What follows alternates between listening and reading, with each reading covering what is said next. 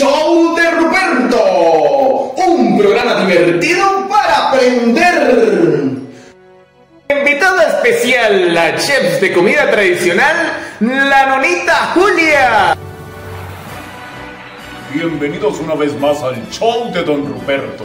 Seguimos con las ricas y deliciosas recetas de la nona Julia. Y allá en la cocina está ella con el doctor Crispín. Adelante, doctor Crispín. Buenos días, muchas gracias, don Ruperto. Saluda a los niños y niñas allá en casa. Un saludo especial también a los representantes que día a día están aquí con nosotros en el Colegio Jacobo Borges. Hoy seguimos con nuestra querida nonita, la abuelita más dulce de este planeta, la nonita Julia, que hoy nos va a enseñar una receta del cabello de ángel, de un fruto llamado berenjena. Zapallo, ¿qué se llama, la nonita Julia? Sí, don Crispín, ¿cómo está? Buenos días. Muy bien, saluda a los niños. Bueno, niños y niñas, hoy traigo una nueva receta tradicional de dulces de cabello de ángel. Ustedes también, apreciados papás, presten atención. Es un dulce muy, pero muy divino. Caramba, nona Julia, yo conozco la berenjena morada, pero esta berenjena es diferente, ¿verdad? Claro, esta berenjena se llama berenjena blanca y en algunos estados de Venezuela, como el estado Mérida y el estado Trujillo, le dicen zapallo. Ah, mira, una pregunta muy curiosa, nona Julia.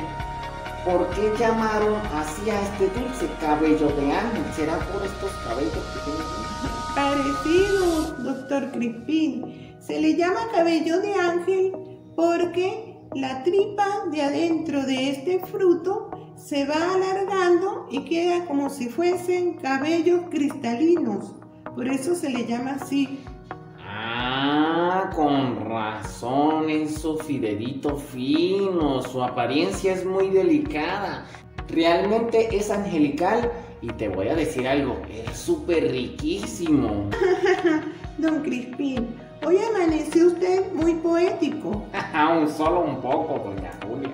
Bueno, sigamos ahora con los ingredientes. Una berenjena blanca de tamaño grande. Un kilo de azúcar, clavitos de olor y astillas de canela al gusto. Copiado. Se parte el trozo grande de la berenjena sin quitarle la concha y se pone a cocinar. Cuando está cocida se escurren los trozos. Al enfriar se le quita la cáscara que es muy dura. Con mucho cuidado para no ir a desbaratar los pedazos. Ahora se toma un tenedor y se va peinando la pulpa de la berenjena, o sea, la tripa de la fruta, que es la que forma las hebras o cabellos del ángel. Ya escurrido esto, se le colocan tres tazas de azúcar, reservando una para conservar el dulce. Se coloca luego el clavo y las astillas de canela y se pone a fuego medio a conservar. No se debe remover mucho porque pierde las hebritas. Poco a poco esto se vuelve cristalino y hay que estar pendiente para que no se queme.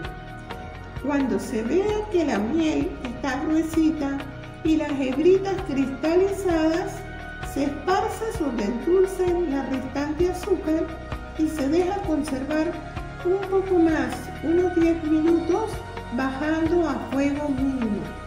Y listo, a disfrutar esta maravilla. Nonita Julia, muchísimas gracias. Usted me hizo poner la boca agua.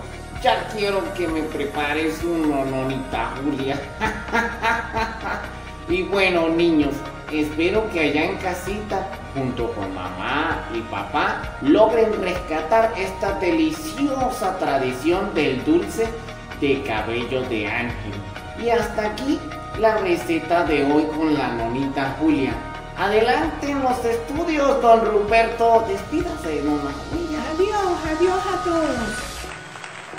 Muchas gracias, doctor Crispín. Y qué deliciosa receta la que nos ha enseñado hoy la nonita Julia. Pero el programa llega hasta aquí. Será hasta mañana. Chao, chao, niños.